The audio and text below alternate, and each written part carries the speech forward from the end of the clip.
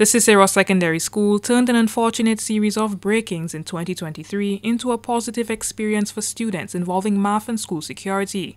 Recognizing the urgent need for proactive measures, the Mathematics and Science Department joined forces to develop a cutting-edge solution, a simulated training software. The project won several prizes including Best Secondary School Project and the overall District Project Prize at the District 4 Science Fair 2024. At the national level, the school won the secondary school first prize and the first place prize for mathematics and gaming at the science fair.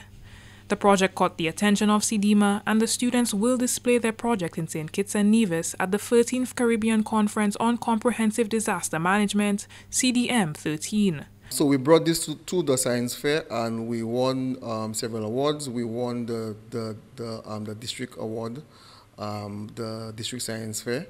Um, we also won the National Science Fair in terms of the secondary school um, category, the mathematics and games section. We also won that. Okay, and we caught the attention of the um, the international agency CDEMA, and they were very interested in our project in terms of school security, and they like that we actually integrate mathematics into it. The software is designed to improve school security by providing a training platform for faculty, students, and security personnel. Using principles from math, such as graph theory and the Pythagorean theorem, it immerses users in scenarios that require strategic decision making, offering real time feedback on their actions.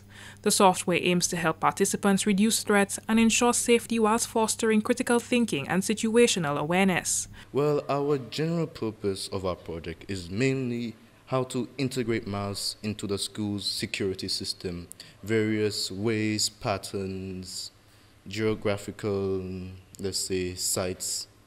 And our main project is Pythagoras theorem and coordinate geometry, as you can see.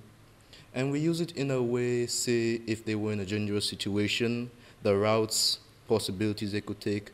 We have various scenarios, what should and should they not do in case of an emergency or dangerous situation and several other topics instead of Pythagoras theorem and coordinate ge geometry on how to incorporate maths into the school security system.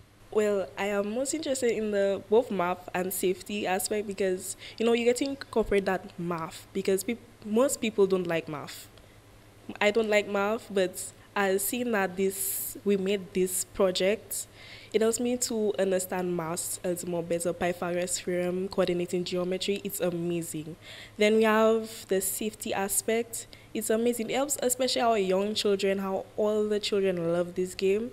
They were so engaged in the, in this topic. They understood Pythagoras theorem, even the younger students. CDM 13 is being held from December 2nd to the 6th, 2024 at the Marriott Hotel in St. Kitts and Nevis under the theme Road to Resilience, Checkpoint 2024, Leveling Up for a Dynamic Future. This event is bringing together regional and international experts, policymakers, and practitioners to explore innovative strategies for disaster management and resilience building in the Caribbean. The conference features a diverse program of keynote addresses, panel discussions, workshops, and networking opportunities designed to address the evolving challenges and opportunities in disaster risk reduction and management. For the DBS News World, Miriam Montoute reporting.